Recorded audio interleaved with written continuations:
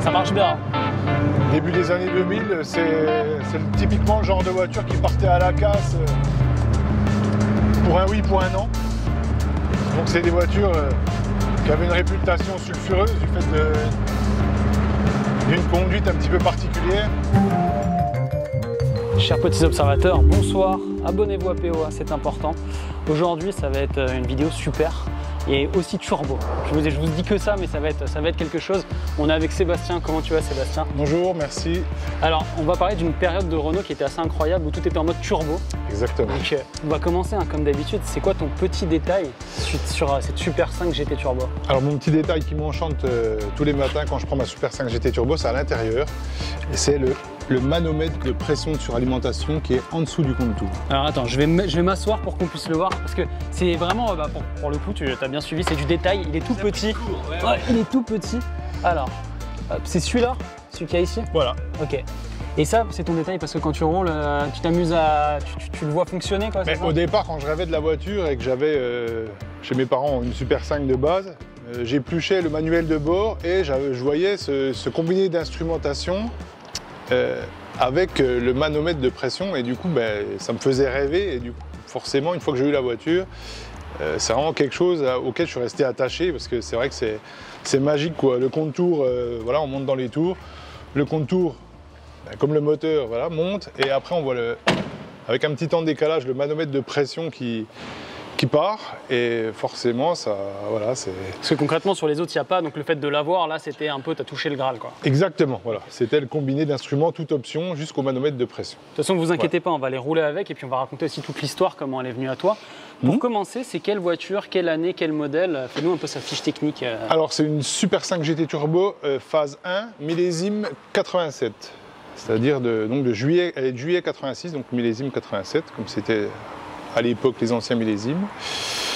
Euh, donc une phase 1 où euh, on a euh, une version spécifique au niveau des jantes, du kit carrosserie qui est d'une couleur différente de la caisse. L'intérieur aussi est différent par rapport à, la phase 2. Et c'est c'est la dernière phase 1, c'est-à-dire que le millésime d'après, on rentrait sur la, la phase 2, donc la phase 2 de la Super 5 euh, et de la GT Turbo en particulier. Et on avait euh, donc du coup euh, euh, les différences que je viens de citer qui allaient être changées. Quoi. Je t'en préviens avec moi, suis-moi. Alors, pour que les gens euh, sachent, on va parler un petit peu d'histoire. Donc, de base, il y a la R5. Oui. Donc, nous, on avait fait la R5 Alpine aussi qui était en turbo. Tout à il y a fait. la Super 5 qui est arrivée. La Super 5 qui, euh, qui, qui n'a rien à voir, en fait, euh, parce que on- les gens peuvent croire que c'est un restylage, c'est une nouvelle voiture de A à Z. Et comment est-ce qu'on arrive à cette Super 5 GT Turbo qui est en fait qui n'a presque rien à voir avec une Super 5 quoi. Alors, euh, déjà, dans un premier temps, effectivement, tu as raison, ça n'a absolument rien à voir avec la, la R5, la Renault 5 euh, de 72. Euh, on peut penser que c'est un restylage, mais en fait, euh, à part quelques éléments moteurs, il n'y a absolument aucune pièce, voilà, aucune pièce euh, qui est commune à la voiture. On reprend ici les bases de la Renault 9, c'est-à-dire le moteur en position transversale. C'est ça la grosse différence avec la Renault 5 qui était euh, une base de R4, où on avait le moteur longitudinal avec la boîte en avant. Là, euh, on se retrouve avec un schéma classique comme on a encore sur les voitures actuelles. Euh, le Elle moteur à la plus boîte moderne en travers. qu'une R5, c'est ça. hein. Et du coup, euh, voilà, ça a permis beaucoup d'habi- d'habitabilité par rapport à l'ancienne version et aussi ben, forcément de la tenue de route. Cette époque, euh, elle a été vraiment marquée par le côté turbo. Toutes les voitures de chez Renault étaient en mode turbo. Euh, en dehors d'avoir le turbo, parle-nous un peu de l'extérieur. Il y a tout un kit carrosserie qui a été changé. Il y a, les roues, enfin les jantes aussi, tu me disais. Alors, par rapport à la Super 5 normale, voilà, on a tout un kit carrosserie, extension d'aile, euh, bas volet, bas de caisse. Euh, Et là, là, quand tu dis pare-choc avec spoiler intégré. en gros, c'est- derrière ça a été coupé, ça s'est rajouté, c'est ça? Exactement. C'était fait en usine ou c'était C'est- Renault Sport qui faisait juste ça à leur sauce? Alors c'était fait, euh, c'est- c'était fait en usine. Euh, donc les ailes, on partait des ailes de, de Super 5 normales, elles sont découpées à l'avant et aussi à l'arrière. Donc ça permettait de passer, de rabaisser un petit peu C'est la pas voiture. juste un truc un, un peu à l'arrache comme ça, c'est vraiment ça a été découpé pour que ça puisse rentrer et tout. Exactement. On Pareil au niveau des bas de caisse, du coup, qui sont beaucoup plus grands. Alors les bas de caisse euh, s'adaptent sur une Super 5 classique, il y a juste des fixations. Pour le coup, là, il n'y a pas de découpe ont- de carrosserie au niveau de la tôlerie. Il n'y a pas de découpe. Les jantes, en plus d'être différentes, est-ce que les pneus étaient peut-être plus larges, plus, euh, parce Alors, les plus pneus- puissantes aussi donc. Alors les pneus, c'était le point faible de la voiture. On reste sur du 13 pouces. Ok. Pour un véhicule turbo compressé, et, euh, avec, on va petit, dire, vraiment, voilà, 13 avec, pouces. avec beaucoup de couple. Euh, à savoir que toutes les Super 5 sont sorties en, en 13 pouces et la GT Turbo n'a pas échappé à la règle. Euh, elle est sortie au départ en 175 60 13, ce qui est vraiment. Alors pour l'époque, ça pouvait paraître des tailles basses et larges. Et il y avait l'option 195 55 13. Ok, d'accord. Et pour la phase 2, début de phase, ouais, la dernière phase 1 et la phase 2 avaient le- la montre 195 euh, euh, en option gratuite. C'est-à-dire qu'on pouvait demander à l'avoir et c'était sans supplément parce que c'était quasiment indispensable si on voulait passer la puissance au sol. On parlait du kit carrosserie. Question bête, la couleur est très très très particulière. Oui. C'est à cause de ta couleur Elles étaient toutes comme ça Alors, Parce qu'il y a eu euh, des versions spécifiques aussi en bleu, on en parlera après. Mais... voilà, la, la blanche et la blanche nacrée, parce qu'il y a eu aussi une teinte en. Même c'était le givre nacré. Ouais. Donc c'est une variante plutôt de gris, mais assez claire. Elles avaient ce kit carrosserie couleur euh, blanc camailleux de chez Renault. C'est le 347. Et euh, du coup, sur la blanche et la, la- la nacrée, ça faisait cette différence de, de teinte, tout en restant un peu dans les, dans les mêmes tons. Par contre, toutes les autres versions de GT Turbo avaient le kit euh, gris anthracite, comme une. Super 5 classique. Ok. Voilà. À l'arrière, pareil, donc le bouclier aussi euh, Donc, est différent. À l'arrière, bouclier spécifique. Euh, vous voyez là, la grille ici. En fait, la grille factice. voilà. En fait, Effectivement, il n'y a pas d'air qui passe ou quoi que ce soit. Voilà, en fait, c'est repris ça sur la, la Renault 5 Turbo. Donc la Renault 5 Turbo à moteur central. Ok, ouais. Celle-ci, euh, si vous reprenez les photos, vous verrez que vous avez une grille qui cache la boîte de vitesse avec des petites aérations. Et du coup, euh, ça a été repris pour évoquer un petit peu. Le côté euh, sportif. Et... Voilà, le côté sportif euh, de comment? Et puis un petit peu l'analogie, quoi. Tout comme les, tout comme les prises d'air hein, dans, les, dans les ailes, dans les extensions de. Effectivement, qui sont, Voilà. qui sont sont abso- aussi absolument factices, inutiles, quoi. Ouais. Mais ça très fait, ça, Voilà, fait son, ça fait son petit look en plus. Quoi. voilà, exactement. On voit aussi, c'était des époques avec euh, Renault, euh, Renault Elf en Formule 1, ça fonctionnait bien. Voilà. Euh, Super 5 plus 5 que la 5, ça aussi, Voilà, c'est- c'est c'est le, vraiment... voilà, c'est le côté, c'est le côté marketing puisque ça reste, comme c'est écrit, ça reste une Renault 5, mais c'est vraiment euh, le nom Super C'est une 5 a vraiment été euh, imposé par le côté marketing et par la publicité. On le voit, on le retrouve jamais écrit sur le véhicule. C'est toujours une il y a Renault juste marqué 5. Renault voilà. 5. Et ils se font très, ils se font vraiment plaisir aussi sur le GT Turbo. Je sais que tu, tu l'as refaite, on va en parler après Oui. de, de toute son histoire. Le fait que ce soit pas un petit peu à la main, c'était déjà fait comme ça? Non, c'était, c'était un petit peu, c'était un petit peu mieux quand même. D'accord. Non, non, Voilà. mais parce que c'est vrai que, euh, même on, on en a parlé un peu avant, mais euh, toute la restauration, tu as fait aussi des choses toi-même, mais en même temps, elle est, elle est quasiment full stock là. C'est ça, oui, oui, extérieurement, c'est ça, c'est full stock. Et par contre, bah, après, il y a des choses, oui, qui ont été faites à la main, qui étaient faites forcément en série. Et euh, les monogrammes, c'est pas quelque chose de facile à reprendre. Ouais, j'imagine. On va, on va regarder peut-être le moteur, parce qu'on fait que de parler du turbo. Et euh, bah, le nerf de la guerre, bah, ça se passe quand même là en dessous. Alors, le turbo, voilà. on Tu va- me disais, ce moteur, en gros, ils l'ont utilisé, mais pendant, euh, je sais pas, 20, 30 ans, enfin très très longtemps, quoi. Jusqu'à Bah, presque les années 90, fin 90. euh. Voilà, donc c'est, le moteur euh, Sierra à l'époque euh, qui s'appelait Sierra, qui était renommé Cléon, donc c'est-à-dire qu'il a été développé pour la R8 à la base, donc je crois de tête de 62, 63 par là, et qui a traversé les années jusqu'aux dernières Super 5 et Express, en passant par euh, bah, toute la gamme Renault, hein, euh, donc jusqu'en 95, 96, les dernières Express et Super 5. Euh, en mode atmosphérique. C'est aussi la base du moteur de la R5 Turbo à moteur central. Donc il a été monté en centrale, en longitudinal, à l'arrière. Il a fait toutes les, toutes les positions possibles et inimaginables de- des véhicules Renault. Et du coup, c'est vachement fiable, tu trouves des pièces assez facilement. Alors, euh, certaines pièces sont plutôt plus compliquées à trouver que d'autres. Aujourd'hui, euh, on a de la chance d'avoir euh, des, des sites qui font de la refabrication de pièces. Donc, je dirais que tout ce qui est courant est assez, assez trouvable, on va dire, voilà, en bon état. Il développe combien de chevaux là avec le turbo et dans cette configuration phase 1 euh, Alors, la configuration phase 1, c'est 115 chevaux. Voilà, avec, Pour combien de euh, kilos pour, Alors, la voiture fait 830 kg. Et sur euh, la phase 1, on a euh, 16,8 mètres kg de couple à 3000 tours. Donc en gros, donc, ça, on s'amuse bien. On s'amuse très très bien. Ok, et t'as pas. Alors, donc, toi, tu as tout refait de A à Z il y a à peu près une dizaine d'années. Mais Oui. une fois que c'est fait et que les entretiens courants sont faits, il n'y a pas de. Parce qu'il y a des voitures qui peuvent être, on va dire, un peu young timer où c'est une galère de A à Z. Là, l'un dans l'autre, ça reste de la mécanique assez simple. Ça reste euh, une petite voiture. C'était ma première restauration. Euh, voilà, c'est assez facile à restaurer, on va dire. Voilà, on reste sur une traction avant. Euh, du coup, euh, une fois qu'on a enlevé le bloc avant, la voiture, on reste que sur des petits trains roulants. C'est léger à, à soulever. Si on n'est pas équipé avec des ponts et ce genre de choses, euh, c'est toujours quand même plus pratique. Parce que Mais là, tout est neuf, neuf, neuf. C'est incroyable à quel, à quel point. Tu vas me dire, oui, je la nettoie pas souvent, truc et tout, mais, mais Bah, quand même, Je quoi. fais attention quand même. Ouais, c'est pas une sûr. auto qui fait 50 000 km par an, évidemment. On évite les intempéries quand c'est possible. Tu Mais disais que la durite, là, elle est d'époque, la, la grosse durite. La- les durites de turbo, celle-là et celle-là. hein. Donc le turbo est là, voilà, sous son Avec cache temps, elles n'ont thermique. pas chauffé Voilà. ou craquelé ou ça a tenu, quoi. Elle, elle commence un petit peu à, à prendre un peu d'âge, mais je veux dire, je, pour l'instant, je préfère les garder C'est drôle euh, aussi, tant le, le, le cric, ils l'ont mis là. euh, Voilà, c'est comme toutes les Super 5.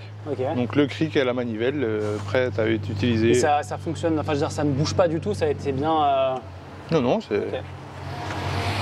On va faire un petit tour aussi dans le coffre, Mhm. parce que tu as de la place. Alors là, tu as fait beaucoup de kilomètres pour venir. C'est ça, 450 euh, km. Il y a ton papa aussi qui est, qui est là, euh, juste derrière. Oui. Et as amené la glacière, tu as fait le pique-nique. euh, Glacière, pique-nique, euh, un petit peu euh, voilà, de quoi nettoyer, un liquide de refroidissement, un petit peu d'huile. Et puis un petit, un petit sac avec euh, quelques outils, euh, toujours de quoi euh, dépanner au cas où, euh, du fil, des morceaux de durite, des colliers Serflex, des rilsans, euh, et puis une petite boîte à cliquer. Ah, quand même, t'es prévoyant, Voilà. t'as quand même pas mal de choses au cas où, quoi. Voilà, on Là, reste- ça s'est passé sans encombre. Ah oui, sans encombre comme la majorité du temps, mais Tu roulais à combien Voilà. sur l'autoroute? C'était 100, 110 plutôt quand même ou... ben, on- donc du coup la partie d'autoroute à 130, on roule à 130, à 110, on roule à 110. Ouais, euh, et ça fait pas spécialement de bruit et tout, c'est pas trop. quoi. Non, non, non, non, ça reste voilà, sans forcer, c'était pas le but, et puis euh, ça, ça prend, euh, voilà, ça prend largement plus que Ta- 130. Ta donc, voiture, elle est nickel, mais on Oui. a un partenaire euh, qui est un nouveau partenaire. On avait fait une vidéo avec eux il y a quelques temps. C'est Turtle Wax et ils reviennent et ça nous fait vraiment plaisir. Tu as différents produits. Alors, juste, tu, nous- tu me disais, toi, tu achètes pas mal de produits, mais tu Oui. connais pas forcément Turtle, Wax. Aux États-Unis, ils sont leaders. Ça fait quand même D'accord. 80 ans que euh, bah, ils étaient les premiers d'ailleurs à faire des, des- des sprays euh, céramiques pour, euh, pour, euh, pour les carrosseries. années 30. Ouais, c'est ça, les ouais, 40, dans les 44, années 30. 44. Ah ouais. Chicago, tout ça, ouais. D'accord. Et euh, alors là, par exemple, je suis sur les jantes, je vous le montre ici comme ça, il est vachement bien parce que tu vois, en fait, directement, tu vois où c'est sale et donc ça se met en rouge. Donc, D'accord. tu nous diras si ça fonctionne Ok. et Et si c'est- pH neutre, pour pas Ouais. acidifier Ah, les bien. Ouais, tu ça, peux le mettre aussi, ouais, sans euh, trop de risques, il n'y a aucun souci là-dessus. Pour l'intérieur, alors je tu as un peu tout sur l'intérieur, mais ce qui est bien, c'est que ça fait aussi bien euh, les sièges que le tableau de bord. Et ça va te redonner euh, tu vois, un, un fini un peu euh, mat, bien propre. Et euh, donc ça, tu peux le mettre un peu partout à l'intérieur. Et l'extérieur, moi, j'ai j'ai une autre version. J'ai une version en, en tube, en bidon. J'avais déjà essayé d'ailleurs sur la C6 de Renault. Euh, je l'avais fait à un endroit qui était après hyper propre. Il fallait faire tout le reste. et ça marche hyper C'est bien. un spray céramique, Ouais. une fois que la voiture est propre. Tu dois connaître. Ah oui, oui, oui, oui, je- Alors, un faut vraiment peu. le faire à la voiture propre. D'accord, Mais après, ouais, ça te laisse une espèce de petite, comme une, une petite fibre dessus bien un petit peu hydrophobe. Voilà, c'est ça. Donc quand tu laves, après, c'est plus facile pour laver. Donc on les remercie. Tu as tous ces produits gratuits, tu vas pouvoir tester. Les Mais c'est gentil. Amazon en fait. Il y a un Ah, lien d'accord. un lien spécial. Ils ont pas de. Voilà, tu, tu Tu vas peux les trouver directement sur Amazon. sur une page spéciale. d'accord. Mais bon, vu comme tu maniaque, pense que tu dois Ah bah, passer du temps et on n'a jamais trop. hein, Exactement, les de- produits, Voilà, voilà. voilà, c'est toujours. Et comme euh, je disais à Julien, c'est vrai que j'ai plutôt tendance à aller les chercher en, en centre auto, donc c'est vrai que c'est pas la marque me, me parle. Ils viennent à toi. là. On Et est là, dans le milieu de la voiture, mais euh, par contre les produits j'ai jamais testé. Turtle Wax, c'est la, c'est la tortue, c'est toujours vert. Et moi, ce qui me plaît, c'est que ça reste familial, c'est pas un grand groupe. Euh, Il y a le côté, euh, on est là depuis toujours. Mm. Ouais, et puis aujourd'hui aux États-Unis ça cartonne encore quoi. Voilà. Et donc euh, voilà. Euh, les produits Merci viennent à à toi. En gros, Eh ben, merci, merci à Turtle bien. Wax. Avant de faire le, le petit tour, Oui. on va juste, on va prendre le temps un petit peu de faire l'intérieur. Je te laisse. Je vais me mettre de l'autre côté. Euh, premier truc assez rigolo, c'est que tu as fait un truc un peu particulier, mieux qu'une alarme pour le volant. C'est que ton volant il s'enlève. On va pas le faire en roulant, donc tu peux nous le faire Ah, en, maintenant, si tu veux. en roulant c'est déconseillé. Bah, si, dans, si, si, dans- ça me dans- plaît bien, ça. bah, Ça va faire des vues, Samina Seri dans Taxi, il le fait. hein. Donc, oui euh, effectivement. vois, et, du coup, euh, C'est ça qui t'a donné l'idée, tu t'es dit. euh, alors ça m'a pas donné l'idée parce que euh, en fait je suis tombé vraiment par hasard. Par contre comme j'ai vu que c'était le même principe, et en fait c'est le même système qu'il utilisait à l'époque. Ce qui est drôle, c'est ça que c'est- c'est presque une clé aussi que tu as pour les antivols, les U. Moi j'ai plein de clés comme ça. Voilà c'est ça comme plutôt pour le on va dire le deux roues. Alors on tourne la clé voilà et après on défait les deux. Et c'est toi qui l'as fait ça? Alors oui, c'est moi qui l'ai adapté sur le volant. Voilà. Et, Et du coup, là- ça se démonte. T'as plus de volant. Voilà, il y a trois trous qui sont, euh, on va dire, avec des trous aléatoires, puisqu'il y a une empreinte par, euh, par système. C'est-à-dire que si vous allez dans le commerce racheter le même système, vous n'allez pas leur mettre, le moyeu est vraiment appairé euh, au, au tour de volant. Et du coup, là, on peut, on peut s'en aller, quitter la voiture en, en partant avec son volant sous le bras. Là, c'est le système d'alarme plus, plus, plus. Là, on Bah, pas- Disons que voilà, c'est c'est dissuasif déjà dans un premier temps. hein. C'est sûr que, et, euh, étant donné que c'est des voitures qui s'ouvrent assez facilement, puis qui se mettent en route assez facilement, Ouais, ça euh, permet au moins là. Ouais, voilà, c'est euh, c'est un peu comme le système qui bloque le frein à main avec le levier de vitesse ou le bloc volant, comme on revoit maintenant, on en revoit de plus en plus. Ouais, ces- qui paraît-il se casse aussi assez facilement. Donc là au moins, tu as une grande grande sécurité. Encore une fois, voilà, il y a toujours quelqu'un qui a envie de la voler, il trouvera toujours un Ouais, parce subterfuge. qu'on mais en parlera, ça vaut de plus en plus cher. Tout à fait. L'intérieur, alors déjà, bon, j'espère que les produits euh, Turtlebox, euh, tu vas pouvoir les essayer parce qu'elle est super propre. Là, Oui. elle est nickel. Qu'est-ce qui change par rapport à une Super 5 normale? C'est quoi les spécificités avec ton volant là? Bah, déjà, déjà, le volant il change, voilà, hein, le volant c'est le volant trois branches en cuir, donc commence à parce que cet hiver le cuir va passer en réflexion, parce qu'il est d'origine et il commence un petit peu à, D'accord. ce coup-là à slimer un petit peu. Euh, ce volant-là, on le retrouve sur le- la Baccara mais en beige, donc euh, voilà. Et aussi sur certaines versions TS, si je dis pas de bêtises, mais on n'en voit plus beaucoup. Euh, bah, le combiné d'instruments, voilà, qui est spécifique puisque, euh, comme tout à l'heure, le petit détail, euh, le manomètre de pression sur l'alimentation et la couleur est spécifique, tout à fait. Ouais, ouais. C'est vraiment le fond rouge d'époque, quoi, un petit peu comme certaines Ferrari des années 80. C'était vraiment pompé là-dessus. Il y a d'autres choses au niveau du tableau de bord? On retrouve les aérateurs qui n'existent pas sur euh, la vers- les versions de base. hein. On a, on a un grand vide-poche ici. Donc les aérateurs du milieu, on a les côtés, mais on n'a pas les C'est aérateurs qu'ils aient mis ça sur la version Voilà. sportive? Il y a une euh, justification ou- C'était euh, la version sportive à l'époque. On mettait, on va dire, voilà, toutes les toutes les options. C'était pas une, option, une, une voiture sportive allégée. On, donc, bon, c'était déjà pas très lourde, mais je veux dire, voilà, on mettait, on avait la porte de boîte à gants, ok. les vitres électriques, C'est vrai qu'il y- il y centralisation. avait ce côté-là, enfin aussi face à la 205 qui se voulait un peu plus bourgeoise, il fallait aussi qu'elle ait certaines choses un peu bourgeoises, typiquement la vitre électrique, le fait qu'ici il y a la ventilation. C'est ça. Ouais. Mais euh, les vitres électriques sont restées une option pendant longtemps. hein. Ok, d'accord. Ouais.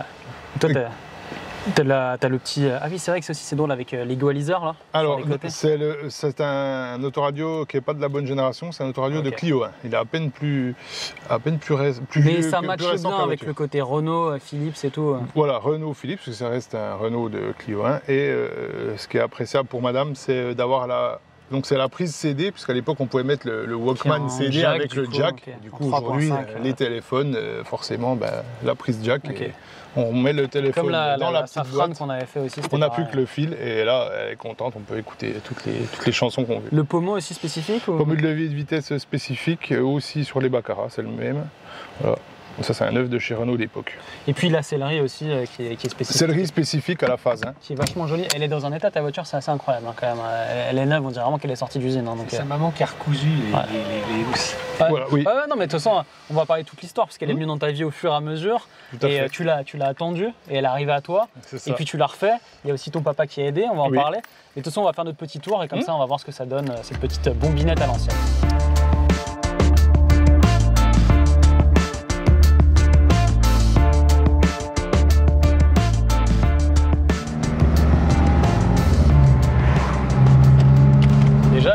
Bruit sympa.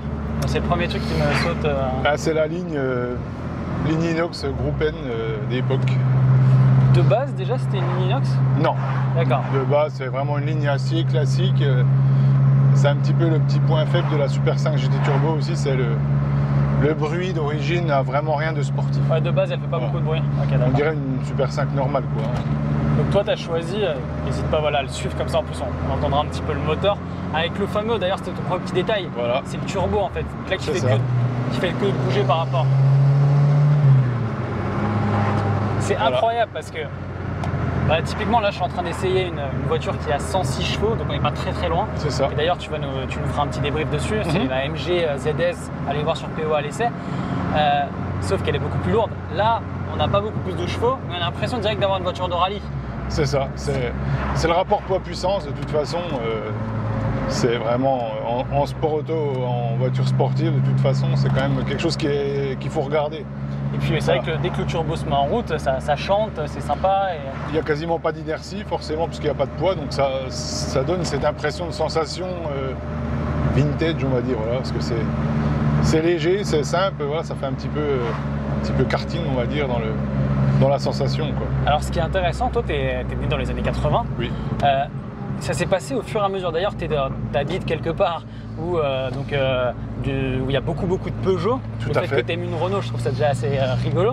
Mais c'est venu petit à petit, euh, déjà la, la- la- la R5 est venue petit à petit, la Super 5 est venue petit à petit, petit, à petit dans ta vie. Tout à fait, oui. Ben, voilà, ça a commencé voilà, par mes. On a été obligé de déménager à un moment donné avec mes parents et mon père s'est retrouvé obligé de- d'acheter une deuxième voiture pour pouvoir aller travailler. Parce qu'avant, il travaillait euh, là où on habitait. Et euh, forcément, il a jeté son dévolu sur une Renault 5. Donc, première euh, génération, hein, la génération de 72. Et c'était une auto qui me plaisait déjà par sa bonne bouille. euh, Ouais, elle était plus ronde. elle un était peu plus euh, ronde. euh, et c'est une voiture qu'on voyait pas beaucoup euh, de par chez nous, même si elle avait un énorme succès, on va dire, national. Voilà, mais la région faisait que. Et par la suite, euh, mon père a eu une voiture de fonction qui s'avérait être une Super 5 neuve, commerciale, donc de place. Et là, tu m'as dit que c'était côte à côte, tu as eu un déclic un peu. C'est ça, voilà. on- en fait, on avait vraiment l'impression, on voyait vraiment les différences, et on avait vraiment l'impression que c'était euh, c'était la nouvelle, enfin, c'était d'ailleurs, c'est pas une impression, c'était la nouvelle Renault 5. Et euh, elle faisait tout de suite plus, plus lisse, plus, plus dans l'air du temps, quoi. Voilà. Ouais, c'est fou, hein, comme euh, les, les phares, la calandre, déjà, ça change tout. quoi. c'est ça, c'est Et ça. encore une fois, c'était normal, c'était pas une, euh, une Ah, GT turbo. euh, C'était la version commerciale, Commerciale, de place, plus, avec ouais. pas de banquette arrière. voilà, c'était pour aller faire du porte-à-porte chez les clients. À la même époque, euh, tu lisais avec un petit peu de retard, mais tous les Auto Plus. C'est ça aussi, ça t'a Ouais. marqué. euh. C'est ça, je les lis un petit peu moins maintenant, mais j'ai eu. euh, j'ai quasiment toute la collection depuis le numéro 1, je les ai encore tous, donc euh, voilà, depuis. on va dire de, de 1988 à 2020, je les ai tous. Et euh, c'est mon grand-père qui les a achetés à l'époque. Et avec quelques temps de retard, vu qu'il ne jetait pas les magazines, moi je- j'en prenais des poignées dans les cartons du grenier. Et euh, c'est là-dessus que j'ai vraiment découvert le modèle sportif. Et là, tu as eu un déclic, tu t'es dit un jour, euh, il m'en faut une, euh, elle me donne envie. quoi. Voilà, la version de base. Du coup, la version de base en deux places, euh, c'était la première voiture où je suis monté en tant que passager à l'avant. Ok. Même si j'avais pas l'âge, mais étant donné que c'était une deux places, il n'y avait pas le choix quand il y avait des courts trajets pour, euh, à faire. Et du coup, euh, voilà, ça m'a marqué, la forme de la planche de bord. euh, Et les trucs comme ça, quand on est gamin, ça marque. hein. c'est fou, quoi. Voilà, alors que bon, elle- aujourd'hui, je la trouve toujours aussi sympa, bien sûr, mais elle avait cet rien, de, état-là, rien ouais, de fou, quoi. hein. Mais euh, ça m'avait marqué, ça m'a toujours euh, marqué. Donc après, voilà, euh, Et puis, euh, chose assez folle, c'est la première voiture que tu as immatriculée à ton nom. c'est ça, Ta, ta première bagnole, c'est ça. Et exactement. tu l'as achetée quand elle était vraiment au fond, fond, fond, euh, au creux de la vague, quand elle valait plus rien, dans les années 2000, début 2000, quoi. début des années 2000, euh, euh, elle, avait vécu quoi, voilà, elle avait déjà 16 ans quand même, hein, donc euh, 16 ans même à l'époque, euh, voilà, c'est des voitures qui, elle avait été épargnée de la casse clairement, voilà, euh, elle était en état correct, elle passait le contrôle technique, j'avais le contrôle technique, mais euh, l'intérieur, voilà, il y avait il y avait des choses à revoir, de l'usure. Euh, la carrosserie évidemment était en très mauvais état, mais c'était encore, euh, on passait encore, euh, on passait encore le contrôle technique à ce moment-là. oui. Fin des Voilà. années 2000, tu te dis, bon, il y a un moment, euh, faut- tu l'as. Encore une fois, juste un truc incroyable, cette voiture, début 2000 qu'il a achetée, on est dedans. Donc la voiture a 20, euh, 22, 24 ans, tu as depuis un peu plus de 20 ans, quoi. Oui, Ouais. Et tu t'es dit, à fin des années 2000, je crois que c'est 2007 si je dis pas de bêtises, ça. Tu, vas, tu, vas, tu vas la restaurer, il faut la restaurer. quoi. voilà. Mon... hein, en fait, euh, le dernier contrôle technique, euh, le contrôleur m'avait fait comprendre en me disant bon, ce coup-là, c'est la dernière fois, quoi. Euh, la coque euh, commence vraiment à être attaquée. euh, voilà. et je faisais de l'entretien évidemment, mais il y avait, il y avait plus que ça à reprendre, quoi. Voilà. Et donc là, en gros, ça a été un truc familial. Il y a toute la famille qui a bossé dessus. C'est assez drôle, c'est assez mignon. hein. La famille et les, et les amis, Les voilà. amis, ouais. euh, J'ai un ami euh, très cher qui, voilà, qui m'a proposé de me refaire la carrosserie. euh, voilà. Sans lui, euh, clairement, j'aurais, je pense, ça aurait été plus compliqué, voilà.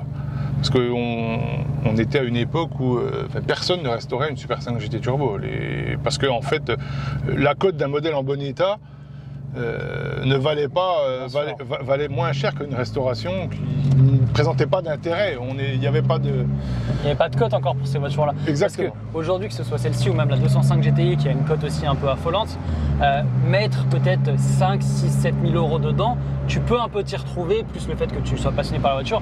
Autant il y a, il y a une quinzaine d'années, une dizaine d'années, c'était un peu fou de faire ça. C'était vraiment que tu aimais cette voiture. Quoi. Mais, et, je voulais garder celle-là. J'aurais Ouais, très bien pu la mettre en pièces, euh, garder les pièces ou la vendre, parce que ça valait quelques milliers d'euros.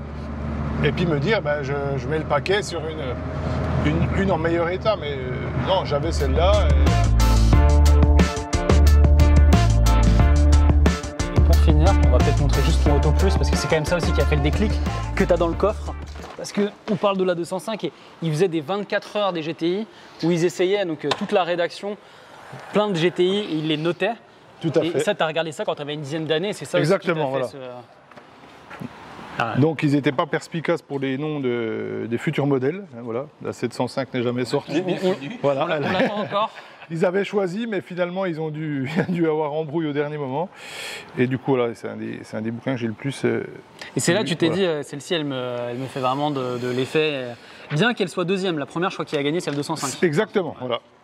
La 205 qui a gagné Et il faisait vraiment 24 heures dessus avec des temps autour et tout. euh, à Montlhéry, Ouais. les temps autour, voilà, la rédaction d'Autoplus de l'époque.